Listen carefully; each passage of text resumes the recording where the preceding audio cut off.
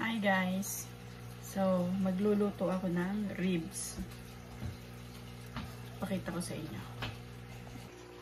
So, ayan siya. Bali, dalawang haba siya ng ribs. So, marami siya. I-ready natin dito sa malaking pot yung ingredients na ilalagay ko sa ribs. So, meron akong garlic na siya. Hindi naman sobrang liit. Pero mga sakto. So, onion powder. Fresh. Gusto ko pa rin lagyan ng garlic powder. Ayan. Nakita ko nilagyan niya ng curry powder. Parang pampakulay lang siguro. to. Paprika.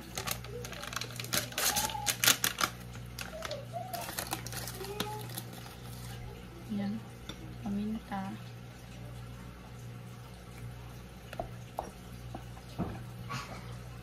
Hmm. Dumi natin. Asin.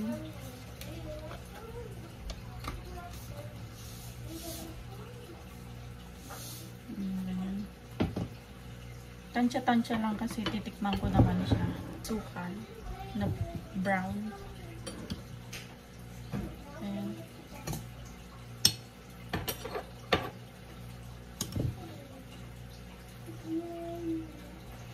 Mga dalawang kutsara. And then, may kalamansi ako dito. Ayan. Salain natin para hindi kasama ang buto.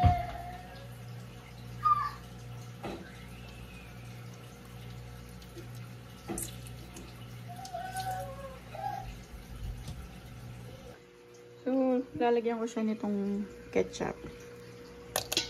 Yan. Tansya-tansya lang. Yan guys. Haluin ko na.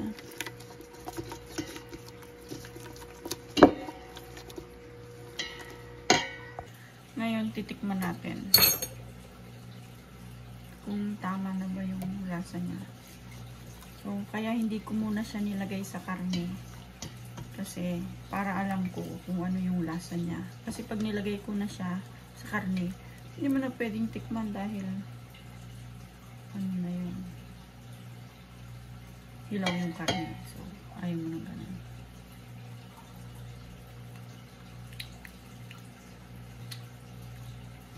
Kulang pa ng asin. Manulit natin.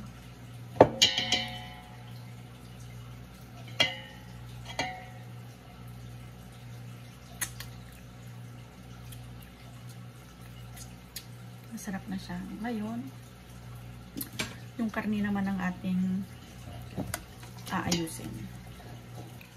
So, ito guys. Basa siya. So, ipapat dry natin. Yun na.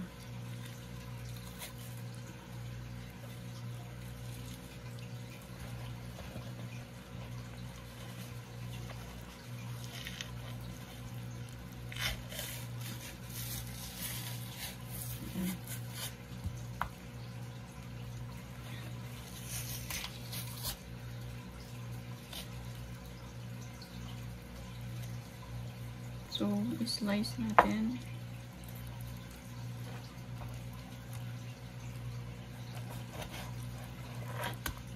There.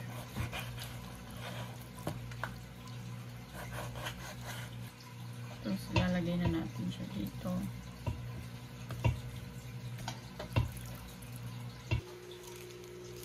Ngayon, mix na natin guys.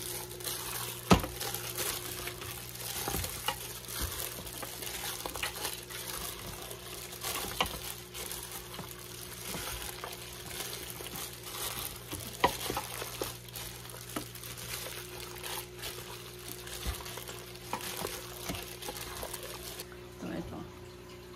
Lagyan ko siya. So, lagyan ko lang siya.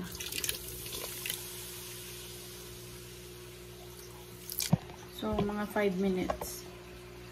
Isasalang ko na siya sa instant pot ang gagamitin ko. Hindi ko na ilalagay sa oven. Pamalagyan ko nito. So, mga tatlo. Yan. Soups too. Mga, yun lang.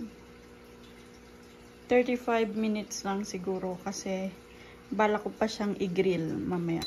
So, yun, naka-on na siya. So, 35 minutes ang isinet up kong timer. So, tapos na yung 35 minutes, guys. I-release ko na yung pressure. So, yan. Unti-unti lang para hindi siya tamusak sa ano, paligid nito. So, nilipat ko dito, guys, sa may malapit sa aming lutuan para mahigop noong exhaust yung amoy niya kasi ang taas ng amoy. Ayan. Um, so, yan, napasinaw ko na yung pressure cooker. So, bubuksan na natin.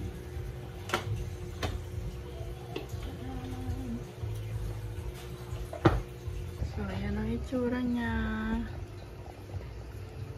So, tingnan natin kung malambot. No, malambot na nga siya. Ayun na, nalalagas na. Oh. Titikman naman natin kung anong lasa niya. Parang napakalambot guys.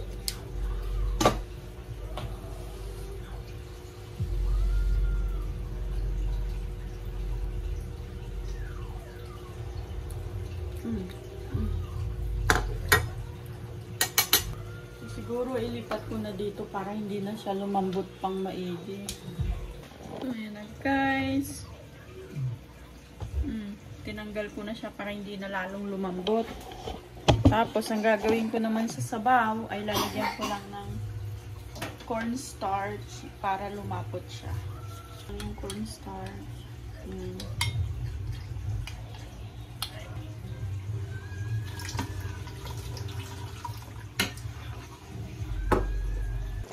Ayan na siya guys. Malapot na.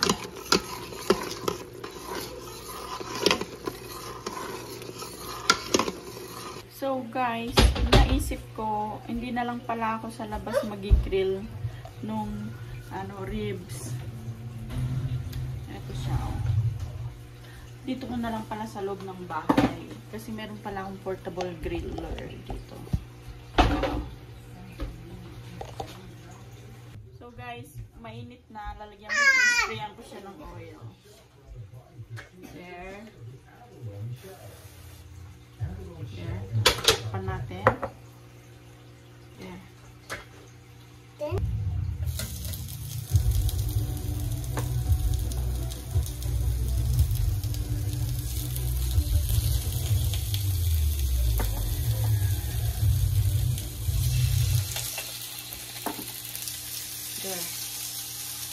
Hanggang tatakpan natin.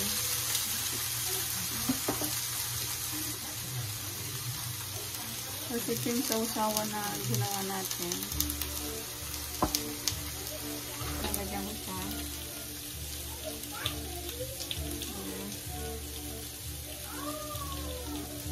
Natin.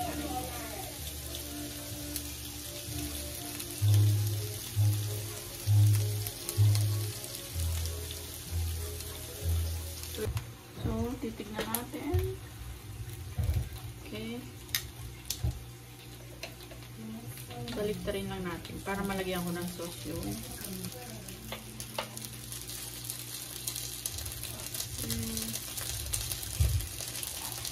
Egg.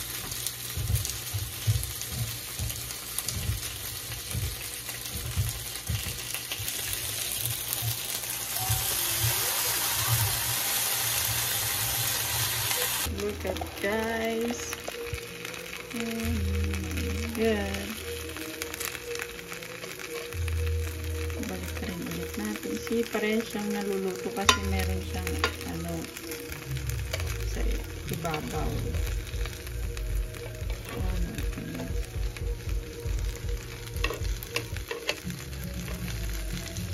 Sorry guys, hahanguin na natin.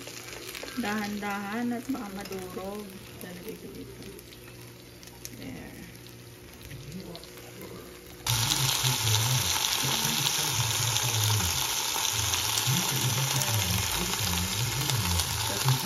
Sabaw. Hmm. Hmm, Siyempre na. Last batch.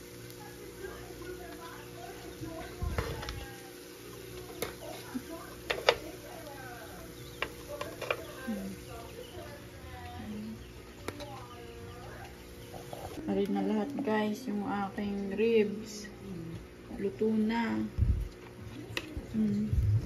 Alin naman natin yung sauce. Talaga yan. Yan. Mm. Ito na guys, titikman na. Tors. Oh, Ang lasa. Masarap. yum, yum, yum, yum. Yan ang gusto kong sagot. Mm. So, thumbs up daw, guys. Masarap. Full of the bone. Mm. Bang, Tara na, guys. Kami nakain. Masarap din din, no? Gustong gusto nilang niluto ko. Mhm.